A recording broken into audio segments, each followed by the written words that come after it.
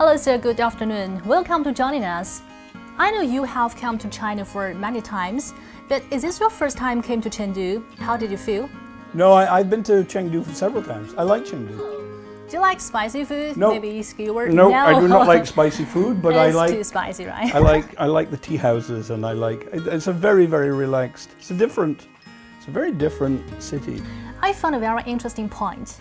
In the past century, people thought that watching documentaries was quite niche, but in recent years, more and more people have fallen in love with watching documentaries. So, how do you think these audiences have been cultivated?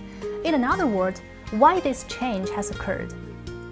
Well, there are there are several reasons why documentaries are becoming more popular, um, and some of them are to do with the audience, and some of them are to do with the the the um, the people who finance the documentaries, because documentaries are much cheaper than traditional dramas.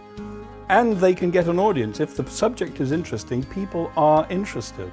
When you see a documentary, you're, you're kind of doing a deep dive into a, into a world that you will otherwise never see, that you cannot visit, that you cannot experience, except in a documentary film. Um, well, you know, I'm, I'm, I'm here in Chengdu as a judge at the, uh, at the Golden Panda Awards, and um, it's very different when we're watching a Chinese film and when we're watching a Western film. They are made very differently, they are conceived very differently. And um, so the answer to that is yes, but the best films, I can't tell you what are going to win, but I can tell you that the best films share two or three qualities in common, which is that they are not just emotional, they're not just statistical, they're not uh, just about facts and figures. The best films, whether they are for China or whether they're for Western audiences, have to be about people and have to be um, very, they have to reveal a lot emotionally. Just what you said before, I'm so curious about that. How to tell China stories well in a world voice and touch audiences, including domestically and internationally.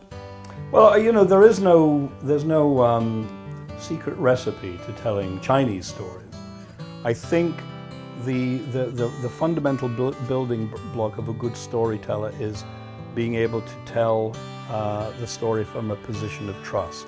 So if I want to put you in one of my films, we really need to know you. I need to know you. You need to know who I am. You need to be able to trust that if you tell me a secret about your relationship with your parents or your family or your, your boss or whatever, that I'm not going to betray that secret. So the, the, the real bridge is to build trust.